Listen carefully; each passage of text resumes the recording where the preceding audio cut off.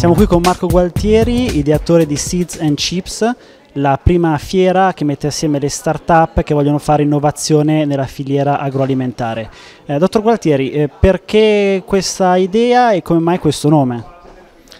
Beh, eh, il nome perché mette insieme i SITS, i semi e i microprocessori, i chips. Poi in realtà se guardiamo da un punto di vista eh, della finanza e dell'evoluzione dell delle start-up, eh, il SID è,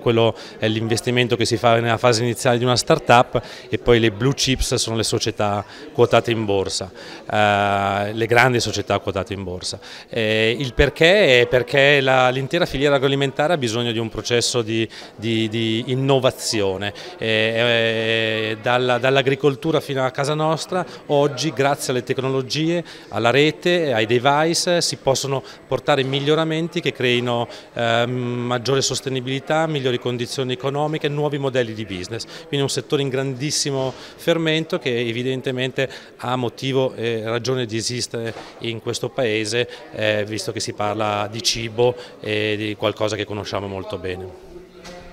Quando si parla di innovazione si parla magari di, di, big data, internet of things, quali sono secondo lei gli elementi che faranno fare al settore i maggiori passi avanti? Beh, allora, intanto diciamo che tutti i, i pezzi della filiera eh, verranno, eh, saranno oggetto di processi di innovazione, quindi dall'agricoltura, con l'agricoltura di precisione come, e come dicevo prima fino alle cucine di, di, di casa nostra, eh, utilizzando tante diverse tecnologie o anche un insieme di queste tecnologie, appena detto giustamente i big data, i sensori, la, i droni, eh,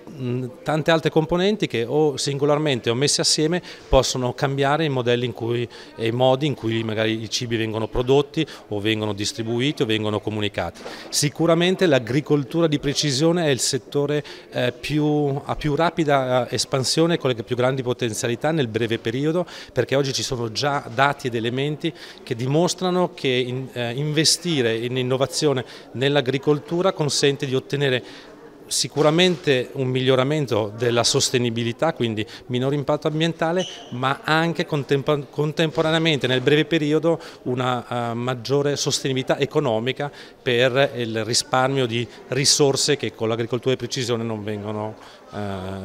disperse. Ecco, secondo tutte le indagini gli agricoltori sono molto interessati all'innovazione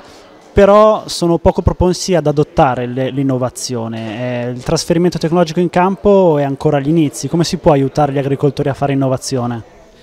Eh, allora, eh, bisogna far capire quali sono eh, gli effetti, quali sono i risultati, eh, però teniamo presente una cosa, che l'agricoltura di precisione da un punto di vista tecnico è un settore eh, veramente molto nuovo, eh, punto, si, si, dice che i primi, i, primi, esempi partono nel, nel, 2010, quindi stiamo parlando di un arco temporale assolutamente breve, evidentemente la, la, la, curva di crescita di investimenti e, di, e conseguentemente di soluzioni è quasi in in maniera verticale, esponenziale e, e quindi c'è eh, l'opportunità eh,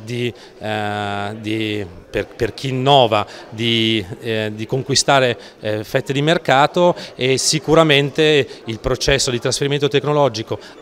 con la dimostrazione sul campo dei risultati eh, positivi di sostenibilità anche economica, quindi non solo ambientale, eh, il processo crediamo e speriamo che sia abbastanza rapido. Poi non dimentichiamo che soprattutto in questo paese, ma in realtà è un fenomeno con eh, caratteristiche internazionali c'è una nuova generazione di imprenditori agricoli che quindi sono molto più portati all'innovazione, all'utilizzo di tecnologie e quindi sicuramente questi saranno i first mover, a, i, primi a muoversi a, eh, e trascinando probabilmente dietro con le loro esperienze e con i loro casi anche sistemi un pochino più tradizionali.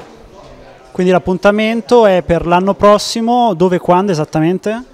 Milano 11-14 maggio alla Mico, Centro Congressi di Milano, Seeds and Chips, quattro giorni dove eh, start-up ma anche aziende del food, del tech, imprese agricole, investitori e rappresentanti del mondo della ricerca, della scienza e delle istituzioni si incontrano per confrontarsi, per approfondire, per condividere esperienze e opportunità eh, con una caratteristica però internazionale. Eh, già dalla prima edizione abbiamo avuto eh, oltre oltre 20 paesi rappresentati, l'anno prossimo 11-14 maggio 2016 sicuramente avremo eh, molti paesi, molte rappresentanze straniere.